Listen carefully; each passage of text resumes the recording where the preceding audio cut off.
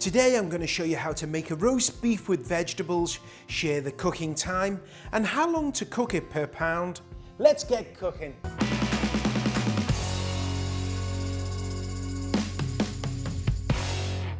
Onions can be a rascal to peel, so what I find is just submerging them in some water, leave them in there for about five minutes. Now when it comes to chopping it, take the top off, chop it in half. Now look how easy that skin comes off. It's simple. You want to cut this into a large chunk. Remember the roast is going to cook for quite a while. We don't want it to overcook. With the carrots, we want to chop these into large chunks, about three quarters of an inch. And it's the same when it comes to the celery. With the celery, we want to go into one inch pieces. For the garlic bulb, I like to take a cloth and just press down and that breaks open the individual cloves.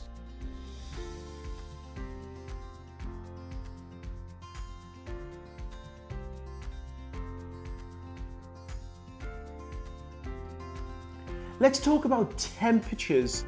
And as we can see, I've got this close towards the end because that's all they had in the grocery store. For you at home, you may, may be able to get just an even cut. This section will cook evenly, but as it comes down towards the tip, this is gonna have a tendency to cook first. So how long do I roast this? Normally I'll allow about 13 to 15 minutes per pound. So rare we're looking at about 125 Fahrenheit. If we're looking to cook this medium, that's going to be 17 to 19 minutes. So between 17 to 19 minutes per pound when it goes in the oven. If I'm looking to do this well done, I'm going to allow about between 20 to 25 minutes. Please use your thermometer. That's just a rough guide because every oven is different. Always allow time for browning the meat, which is going to take at least five to 10 minutes, and resting the meat. Add some oil to the beef, it can be canola oil, olive oil, and give this a massaging in. Now be generous with your seasoning, kosher salt, freshly milled pepper, and that minced thyme. Be sure to season it all over. Heat up a skillet or a cast iron pan and give this a jolly good brown and Add a bit more oil to the top.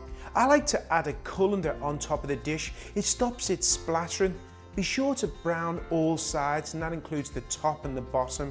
Now we're going to add the vegetables, place the beef back on and then this is gonna go in an oven that's preheated to 425.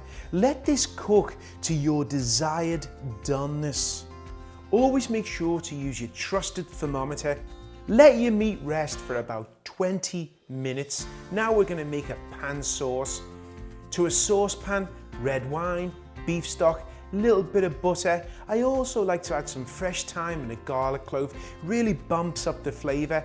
Let this cook for about 10 minutes.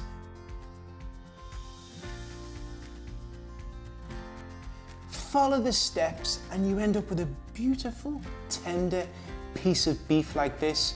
And that red wine jus, oh, your family's gonna love it. Until next time, I'm Jon Ashton.